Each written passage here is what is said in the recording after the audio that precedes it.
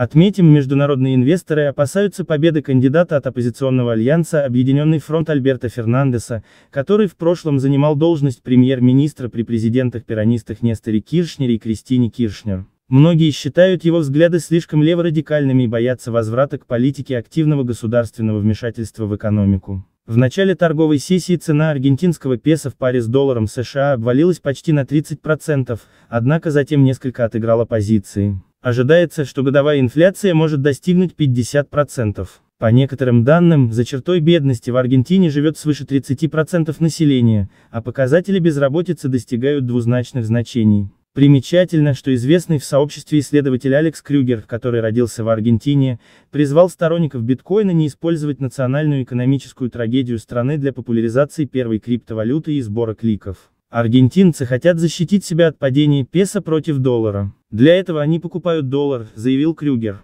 The peso and all Argentine risk assets collapsed overnight in response to a war. Полный текст читайте на сайте cryptofans.ru, ссылка на новость доступна в тексте под видео.